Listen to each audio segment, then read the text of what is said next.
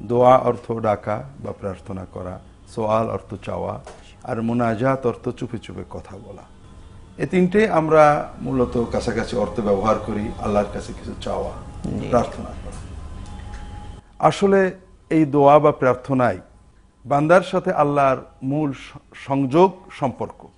আর এজন্যই হাদিস শরীফে রসুল পাক সাল্লাহ সাল্লাম বলেছেন আর দোয়া হুয়াল এবাদা দোয়াটাই হলো এবাদত।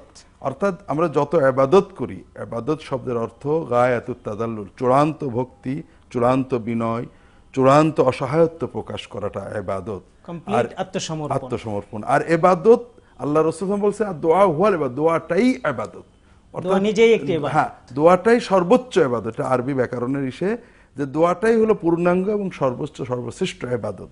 এই অর্থ অন্য একটা হাদিস আসছে ইমাম তিরমিজি সংকলন করেছেন আর দোয়া মুখুল আবাদা দোয়াটা আবাদতের মাথা বা মগজ। এবং তিনি বলেছেন রেওয়ায়তটা জয়ীফ আর দোয়া হুয়াল আবাদা এটা তিরমিজি আবু দাউদ অন্যান্য গ্রন্থে এবং ইমাম তিরমিজি সহ সকলেই বলেছেন এই বর্ণনাটা সহি। রসুলের পাক সাল্লাম দোয়ার গুরুত্ব বোঝাতে এই কথা বলে কোরআনের একটা আয়াত পাঠ করেন। কাল রব্বকুম আস্তাজিবুল আকুম ইন্নাল্লাদিনা আস্তাকবিরুনা আন আবাদতি সেদ খুলুনা জাহান্নামা দাখিরিন আল্লাহ বলছেন, তোমাদের রব বলেছেন, তোমরা আমাকে ডাকো, আমার কাছে প্রার্থনা করো, আমি তোমাদের ডাকে সাড়া দেব, তোমাদের প্রার্থনা কবুল করব। নিশ্চয় যারা আমাকে ডাকতে গর অহংকার, আমাকে ডাকতে চাই না বা আমার ডাক থেকে অহংকার করে, তারা লাঞ্ছিত হয়ে জাহান নামে প্রবেশ করবে। এতে বোঝা গেল, আল্লাহকে ডাকা যেমন সর্বোচ্চ এবাদত আল্লাহকে না ডাকা, আল্লাহর কাছে দোয়া না চাওয়া যে অর্থেই হোক আল্লাহর কাছে দোয়া না চাওয়াটা হলো এমন একটা অপরাধ যার জন্য যারা আল্লাহর কাছে দোয়া না চায় আল্লাহর কাছে প্রার্থনা না করে আল্লাহকে না ডাকে তাদেরকে লাঞ্ছিত হয়ে জাহান নামে যেতে হবে। এটা হলো কোরআনের মূল যে দোয়ার। এছাড়া হাদিস শরীফে অনেক মানে জায়গায় বলা হয়েছে কোরআন কারিমেও বলা হয়েছে দোয়ার বিভিন্ন ফজিলত। এর ভিতরে সংক্ষেপে আমরা বলতে পারি আল্লাহ রসুল সাল্লাম বলছেন লা এরুদ্দুল কাদা ইল্লা দোয়া। আমাদের তকদির ভাগ্য শুধু দোয়া ছাড়া আর কিছুতে পরিবর্তন হয় না। দোয়া ভাগ্যকেও পরিবর্তন করতে পারে। মানে যেহেতু ভাগ্যের নিয়ন্তা আল্লাহ সুবহানাহু ওয়া তাআলা সুতরাং তার কাছেই যদি হ্যাঁ, দোয়া চাওয়া যায় আল্লাহ ভাগ্য পরিবর্তন করতে আমাদের সমাজের অনেকের ধারণা আছে যে ভাগ্য যখন একবার লেখা হয়ে গেছে এটা আর বদলাবে না। তো আমরা এই হাদিস থেকে এবং আপনার আলোচনা থেকে এই বিষয়টাও পরিষ্কারভাবে জানতে পারলাম যে একাগ্র চিত্তে আল্লাহ সুবহানাহু ওয়া তাআলার কাছে কিছু প্রার্থনা করলে আল্লাহ সুবহানাহু ওয়া তাআলা যা লিখে ফেলেছেন তা আবার আল্লাহ তাআলা বদলাতেও পারে পারেন। আদেশ তাই বলে। এছাড়া আরও দেখুন বলছেন আর দোয়া বিপদ যেটা এসে গেছে দোয়া করলে আল্লাহ কাটাতে পারেন। আবার যেটা আসেনি আসার কথা ছিল ওটাও আল্লাহ দোয়ার কারণে বন্ধ করে দিতে পারেন। আল্লাহ রসুল ওয়াসাল্লাম বলছেন যে আবদিন। يسأل الله سبحانه وتعالى شيئا ليس فيه إثم ولا قطيعة رحم إلا أعطاه الله إحدى ثلاث মাশাআল্লাহ। যদি কোনো বান্দা আল্লাহর কাছে দোয়া করে চাই প্রার্থনা করে যাতে পাপ নেই বা সম্পর্ক ছেদ নেই আল্লাহ তাআলা তাকে তিনটের একটা দেবেন ইম্মা ইউআজিলাহু লাহু মা আরাদ যেটা সে চেয়েছে আল্লাহ সেটা তাকে দিয়ে দেবেন তাৎক্ষণিকভাবে তাৎক্ষণিকভাবে অথবা এটাকে আল্লাহ তার জান্নাতে নিয়ামত হিসেবে রেখে দেবেন অথবা দুনিয়াতে অন্য সময় দেবেন আও ইয়াসরিফ আনহু সুআ বেকদরিহি। আল্লাহ তার এই দোয়ার বিনিময়ে দোয়া প্রার্থিত দ্রব্য বস্তু না দিলেও এর বিনিময়ে অন্য একটা অমঙ্গল ক্ষতি তার দূর করে দেবেন। কাজেই দোয়াটা সর্ব অবস্থায় কল্যাণ করে এমনকি অনেক হাদিসে এসেছে যে আজুন নাস মানে আজিজ আনের দোয়া। যে দোয়া করতে পারে না এর সে অক্ষম আর কেউ নেই। রসুল কিছু বিপদগ্রস্ত মানুষকে দেখে বলেন এরা কি দোয়াও চাইতে পারতো না? আল্লাহ। আল্লাহ রসুল বলছেন লাইসা শাইউন আকরামা ইনদাল্লাহি আলাল্লাহি মিনাদ দোয়া। আল্লাহর কাছে দোয়ার সে সম্মানিত আর কোনো কিছুই নেই। দোয়াতে আল্লাহ সবচেয়ে খুশি। আলহামদুলিল্লাহ আপনার কাছ থেকে আমরা দোয়ার ফজিলত এবং গুরুত্ব সম্পর্কে অনেকগুলো তথ্য জেনে গেলাম। দোয়া করার জন্য মাসনুন আদবটা কি? মাসনুন তরিকা এবং আদবটা আদবগুলো যদি আমাদেরকে কিছু বলতেন। আলহামদুলিল্লাহ আপনি খুব গুরুত্বপূর্ণ বিষয়ে প্রশ্ন করেছেন সেটা হলো সুন্নত অর্থাৎ দোয়া একটা আবাদত ইবাদত। আর এই এবাদতটা যদি রসুলের পাক পদ্ধতিতে করি। তাহলে এটা পরিপূর্ণ সওয়াব লাভ করবে কবুলিয়ত লাভ করবে। এবং সুন্নত জিন্দা করা হ্যাঁ, সুন্নত জিন্দা করা সওয়াব হবে আমরা আগেও আলোচনা করেছি। রসুলের পাক বলছেন মান আহিয়া সুন্নতি ফাকাদ আহাব্বানি ওমান আহাব্বানি কানা মাই ফিল জান্নাহ। যে ব্যক্তি আমার সুন্নতকে জীবন্ত করবে পালন করবে সে আমাকে ভালোবাসলো আর যে আমাকে ভালোবাসলো সে আমার সাথেই জান্নাতে থাকবে। জি। তো কাজেই প্রতিটি এবাদত দোয়ার এবার আল্লাহ দোয়া করতে বলেছেন আমরা মন মতো যার যার ইচ্ছা মতো দোয়া করলাম এটাই শেষ কথা নয়। দোয়া আল্লাহর কাছে আমরা যে কোনো ভাবে করতে পারি। আমি আমার লেখা কয়েকটা বই এই ব্যাপারে আছে। সুনান হয়তো পড়ে থাকবেন দোয়ার ব্যাপারে আমি বিস্তারিত সুন্নত নিয়ম লিখেছি রাহে বেলায়াত আমার বইটা এটা দোয়ার উপরেই লেখা। বিস্তারিত নামাজ। এ বইয়ে রসুল ইসলামের দোয়ার মোনাজাতের যে সবচেয়ে বড় জায়গা নামাজ নামাজের ভিতরে নামাজের শেষে নামাজের পরে রসুল ইসলাম কি দোয়া করতেন? প্রায় অর্ধশত দোয়া এখানে আছে। নবীজি যেগুলো করতেন কীভাবে করতেন? আসলে দোয়ার সুন্নত পদ্ধতি অনেক বিস্তারিত সময়ের প্রয়োজন। তা আমরা সংক্ষেপে কিছু বলতে পারি। সেটা হলো দোয়ার জন্য সুন্নত পদ্ধতি কয়েকটা বিষয় আছে। একটা হলো দোয়া কবুল হওয়ার যে পূর্ব শর্ত এগুলো দিকে লক্ষ্য রাখা। এর ভিতরে রয়েছে হালাল খাওয়া। হালাল খেলে দোয়া কবুল করেন আর হারাম খেলে বান্দার দোয়া আল্লাহ কবুল করেন না। সুন্নত মোতাবেক চলা। যে ব্যক্তি সুন্নত মোতাবেক চলে আল্লাহ তার দোয়াগুলো কবুল করেন। সৎ কাজের আদেশ করা অসৎ কাজে নিষেধ করা। অর্থাৎ মানুষকে কল্যাণের উপদেশ দেওয়া অমঙ্গল থেকে বিরত থাকতে পরামর্শ দেওয়া এটা এত বড় নেকামল যে এর জন্য সোয়াব পাওয়া ছাড়াও এই কর্ম করলে আল্লাহ সেই ব্যক্তির দোয়া কবুল করেন। এছাড়া দোয়া কবুল হওয়ার জন্য রসুল পাকসাল্লাম কিছু বিশেষ সময় এবং সময়ের কথা। বলেছেন। সময় এবং স্থানের ব্যাপারে যেটা লক্ষণীয় যে হাদিস শরীফের সময়ের যে গুরুত্ব দেওয়া স্থানে সেই গুরুত্ব দেওয়া হয়নি। দোয়া অমুক স্থানের দোয়া কবুল হবে। এ ব্যাপারে হাদিস খুবই কম। কারণ ইসলাম সারা বিশ্বের সকল মানুষদের জন্য। বিশ্বের যে কোনো দেশের যে কোনো মানুষ রাতের গভীরে দোয়া করতে পারে নামাজের পরে দোয়া করতে পারে আজান এবং একামতের মাঝে দোয়া করতে পারে এগুলো তার জন্য সম্ভব। কিন্তু অমুক জায়গায় যে দোয়া করতে হবে এটা অনেকের জন্য অতি সহজ অনেকের জন্য অতি কঠিন। অসম্ভব জি এই জন্য দেখেন এমন কি কাবা ঘরের পাশে দোয়া কবুল হয় মিনা আরাফার দোয়া কবুল হয় এগুলো এত বেশি মশুর হাদিস নয় কিছু কিছু হাদিস আছে। দোয়া কবুলের ক্ষেত্রে আমরা অনেক সময় ধারণা করি হয়তো কোনো বুজুর্গের মাজারে গেলে দোয়াটা কবুল হয়। এটা কোথাও নেই।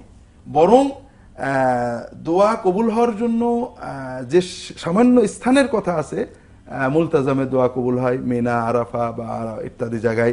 এগুলো রসুল সেখানে দোয়া করেছেন আমরা মনে করি সেখানে দোয়া কবুল হবে।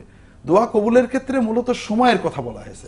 বিশেষ করে রাত বিশেষ করে রাতের প্রথম ওয়ান থার্ড যখন পার হয়ে যায় রাত এগারোটা বেজে যায় এরপর থেকে দ্বিতীয় আল্লাহ- প্রহর হ্যাঁ। দ্বিতীয় প্রহরের পরে আল্লাহর রহমতের দরজাগুলো খুলে যায়।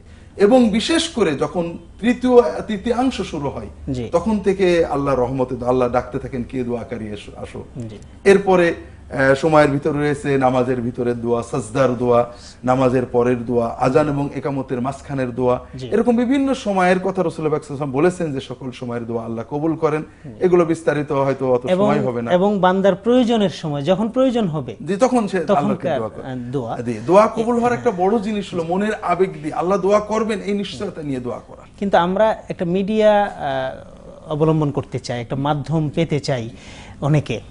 এই বিষয়ে যদি স্যার আমাদেরকে হ্যাঁ খুব ভালো কথা বলেছেন। প্রথম যে বিষয়টা আমাদের সকলের ভিতরেই থাকে কোনো বিপদ আপদ আসলে আমরা মনে করি যে আমরা গুনাহগার আল্লাহ তাআলাকে আমাদের দোয়া শুনবেন। একজন বুজুর্গের দোয়া একজন আলেম তার কাছে দোয়া চাই। তো অন্যের কাছে জীবিত কোনো নেককার মানুষের কাছে দোয়া চাওয়া নিষেধ না। কিন্তু আমাদের বুঝতে হবে যে প্রথম কথা রসুল পাক সাল্লাহ সাল্লামকে জিজ্ঞাসা করছেন আয়েশা তাআলা আনহা ইয়া রাসূলুল্লাহ, আইয়ুদ আফদল। সবচেয়ে ভালো দোয়া, উত্তম দোয়া, শ্রেষ্ঠ দোয়া, কবুলের জন্য সবচেয়ে মঞ্জুর দোয়া কি? রসুল পাক সাল্লাহ সাল্লাম বললেন দোয়া উলমার এলে নাফসি। মানুষ নিজে যখন নিজের জন্য দোয়া করে, তখন আল্লাহ সেটা সবচেয়ে বেশি গ্রহণ করেন, সবচেয়ে উত্তম দোয়া। স্যার, একটা গুরুত্বপূর্ণ প্রসঙ্গে আপনি চলে এসেছেন। এই বিষয়টি আমরা আরও বেশি করে আপনার কাছে শুনতে চাইব। ছোট্ট একটা বিরতির পর। সুপ্রিয় দর্শক, আমরা একটা ছোট্ট বিরতিতে যাচ্ছি। কিছুক্ষণের মধ্যে ফিরে আসছি। আমাদের সাথেই থাকুন। অনুষ্ঠানটি পরিবেশিত হচ্ছে পুতুল প্রপার্টিজ লিমিটেড এবং জানতে চাইব যে দোয়ার ব্যাপারে আমাদের যে একটা প্রত্যাশা থাকে যে আল্লাহ তাআলাকে আমার দোয়া শুনবেন কোনো নেক বান্দার কাছে যদি আমি দোয়া চাই তাহলে হয়তো আল্লাহ তাআলা আমার দোয়াটা কবুল করবেন। এই যে অনুভূতি নিয়ে আমরা দোয়া করি এই বিষয়ে কোরআন সন্ন্যার আলোকে আমাদেরকে যদি বিষয়টা স্পষ্ট করে বলতেন। জীবিত নেককার বুজুর্গদের আলেমের কাছে দোয়া চাওয়া কোনো দোষ নেই। তবে সাহাবে একরাম এ ব্যাপারে নিরুৎসাহিত করতেন। বিভিন্ন হাদিসে দেখা ওমর আব্দুল খাত্তাবের কাছে একজন বারবার চিঠি লিখেছেন আমার জন্য দোয়া করেন। তিনি বিরক্ত হয়ে এসে বলে আমি কি নবী নাকি যে আমি দোয়া করব তোমার জন্য? এর অর্থ যে নবীর দোয়া আল্লাহ কবুল করেন আমি তো এরকম কিছু না। যখন নামাজ পড়া হয় তুমি দোয়া করো না কোনো নিজের জন্য। অন্য এক সাহাবিকে একজন বলছে হুজুর আমার জন্য দোয়া করেন। তিনি বললেন যে আল্লাহ তোমাকে মাফ করে দেন। আরেকজন হুজুর আমার জন্য দোয়া করেন। তো বলছে তোমার জন্য করব না ওর জন্য করব না। আমি কি নবী নাকি?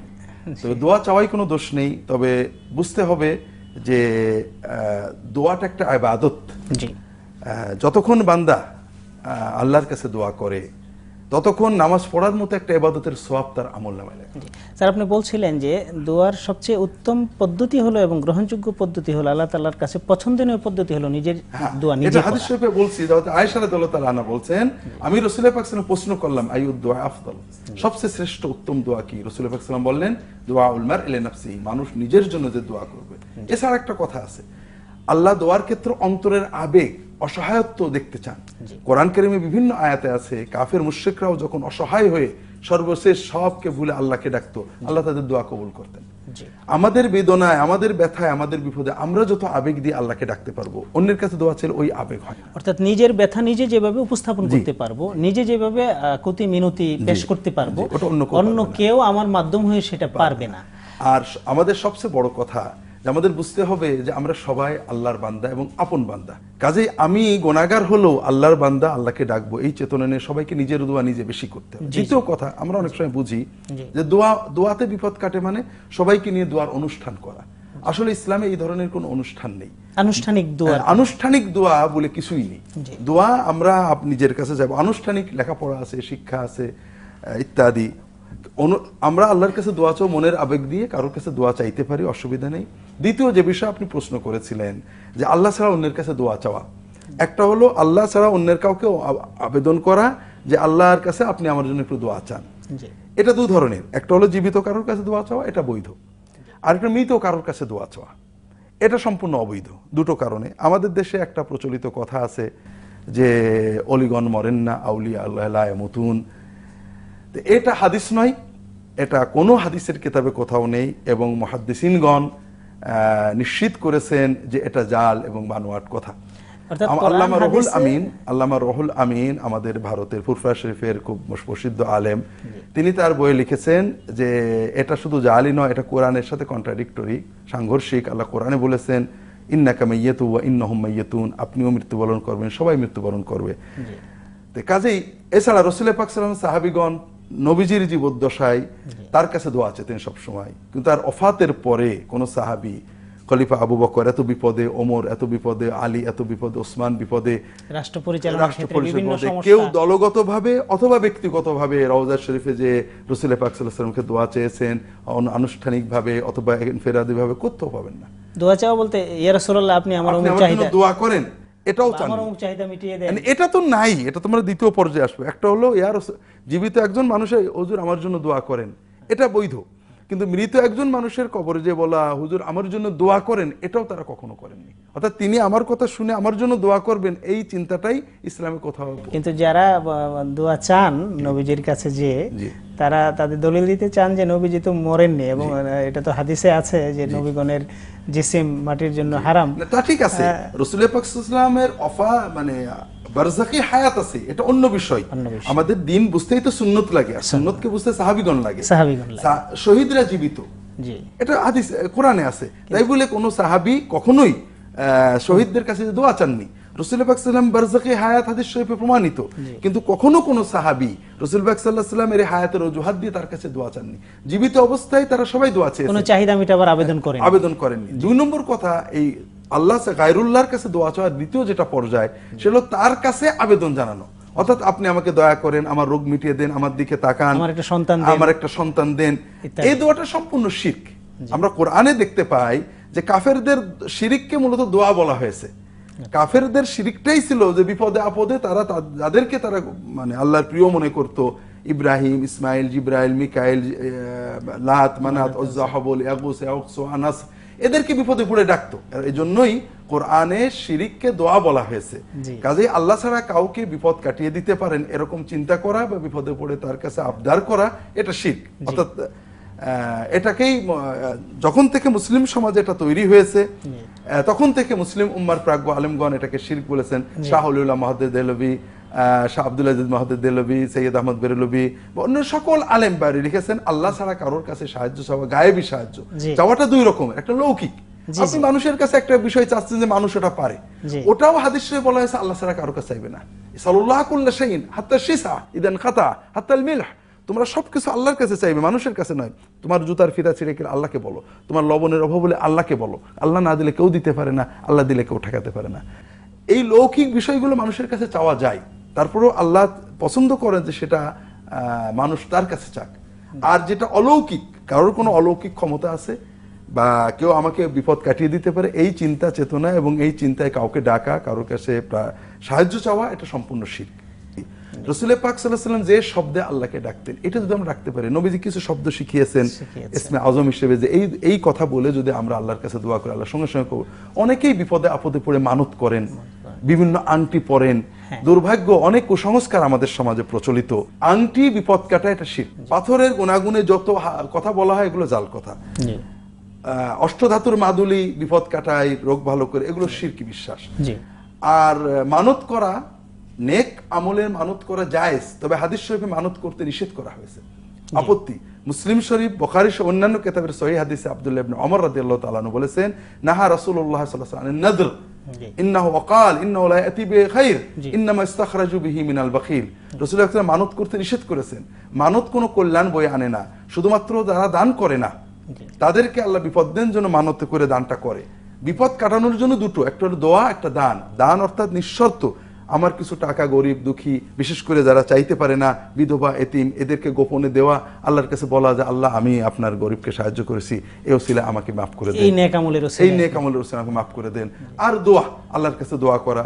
দোয়ার যে আদবগুলো আমরা জানি নবীজি বলেছেন বিস্তারিত বা এগুলো পালন করে রাতের গভীরে নামাজের পরে আল্লাহর কাছে দোয়ার অনেক আদব আছে সলাতুল হাজত। পড়ে। সালাতুল হাজের হাদিসটা মুহাদ্দিসিনরা জয়ীব বলেছেন তবে হয়তো আমল করা যেতে পারে। এছাড়া হাদিস শরীফে বিভিন্ন দোয়া রাসূল শিখিয়েছেন। ঋণগ্রস্ত হলে যে দোয়াটা করলে সহি হাদিসের এই দোয়াগুলো আমরা বিপদে পড়লে কোন দোয়া? পড়লে কোন দোয়াটা করতে হবে? আহ, বিশেষ করে হ্যাঁ রোগ দোয়াটা করতে হবে। তবে সাধারণভাবে আমরা শ্রোতাদের বলতে পারি যে আল্লাহর কাছে মনের আবেগে যে কোনো ভাষায় যে কোনো সময়ে মনের আবেগ দিয়ে কাতর হয়ে দোয়া করা।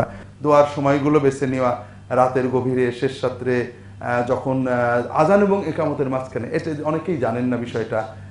রসুল পাক সাল্লাম বলছেন দোয়া বাইনাল আজান ওয়াল একামতে লা আজানের এবং একামতের মাঝখানের সময় যে দোয়াটা করা হয় এই দোয়া আল্লাহ ফেরত দেন না। কারণ তোমরা এ সময়ে দোয়া করবে।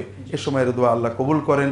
এইভাবে বেছে বেছে দোয়া কবুলের সময়গুলোতে মনের আবেগে আল্লাহর কাছে দোয়া করতে হবে। এবং নিজের দোয়াটা নিজে নিজে করতে হবে। এমনকি রসুল পাক সাল্লামের সুন্নত হলো যে কেউ তার কাছে দোয়া চাইলে তিনি আগে নিজের কথা বলে এরপরে অন্যের কথা বলতেন। অর্থাৎ হুজুর আমার জন্য দোয়া করেন আল্লাহ যেন আমার ভালো করে। হুজুর রসুল পাক সাল্লাম বলতেন আল্লাহ আমারও ভালো করুক তোমারও ভালো করুক। হুজুর দোয়া করেন আল্লাহ আমাকে রহমত করেন। আল্লাহ আমাকেও রহমত করুক তোমাকেও রহমত করুক। অর্থাৎ অন্যের কথা বলার আগে নিজের কথাটা বলে নিতেন। এটা রসুল সুন্দর আবার আরেকটা বিষয় আছে, দোয়া কবুলের একটা মানে উপকরণ যে অনুপস্থিত মানুষদের জন্য দোয়া করে। বিশ্বের যে যেখানে আছে বিপদগ্রস্ত, মুসলমান, জানা, অজানা, আল্লাহ অমুক ভাই বিপদে আছেন, তার বিপদ কাটিয়ে দেন। এতে কি হয়? হাদিস শরীফে এসেছে, যখন মানুষ অনুপস্থিত ব্যক্তির জন্য মনের আবেগে দোয়া করে, আল্লাহ একজন ফিরিস্তা পাঠিয়ে দেন। সেই ফিরিস্তা বলে, আল্লাহ তোমার দোয়া কবুল করুক এবং তোমাকেও অনুরূপ বিষয় দান করুক। এই ধরনের অনেক আদব রয়েছে যেগুলো বিস্তারিত হয়তো বলার সময় হবে আপনি স্যার চমৎকারভাবে দুয়ার গুরুত্ব ফজিলত বিষয়ে বিস্তারিতভাবে আমাদেরকে বললেন। সুপ্রিয় দর্শক আপনাদের জ্ঞাতার্থে জানিয়ে দিচ্ছি যে এই বিষয়গুলো আরও বিস্তারিতভাবে জানতে হলে এই বইটি আপনারা পড়তে পারেন। মোনাজাত নামাজ এই বইটিতেও দুয়ার যাবতীয় তথ্যগুলো আপনারা পেয়ে যাবেন। আরেকটি বই হলো রাহে বিলায়াত এই রাহে বিলায়াত বইটির মধ্যেও কীভাবে মাসনুন তরিকা ইবাদতগুলো সম্পাদন করতে হবে। সকল পর্যায়ের ইবাদত, জিকির, আজকার, তাজবি, তাহলিল, নফল ইবাদত, সকল পর্যায়ের ইবাদত করবার মাসনুন পদ্ধতি এখানে পাওয়া যাবে। আর, আকিদার বিষয়, রিসালাতের উপর ইমান বিষয়ক যাবতীয় তথ্য এবং ইসলামী আকিদার যাবতীয় তথ্যগুলো এই বইয়ে পাওয়া যাবে। এবং এহিয়াউসোনান এই বইটি রাসুল করিম সাল্লাহ সাল্লামের সন্নাটা কি? এর গুরুত্ব কি এটা বুঝবার জন্য? এটি একটি আকর গ্রন্থ। এই বইগুলো পড়লে আপনারা সন্ন্যার গুরুত্ব এবং সন্ন্যত তরিকে যাবতীয় ইবাদতের দিক নির্দেশনা পাবেন। আল্লাহ তালা আমাদের তৌফিক দান করুন। সুপ্রিয় দর্শক, অনুষ্ঠানটি পরিবেশিত হচ্ছিল পুতুল প্রপার্টিজ লিমিটেড এবং স্কাইটাচ অ্যাপার্টমেন্টস লিমিটেডের সৌজন্যে। আজকের অনুষ্ঠানটি ছিল সন্ন্যার আলোকে দোয়া। আমাদের অনুষ্ঠান দেখতে থাকুন। আগামী কোনো এক পর্বে সন্ন্যার চমৎকার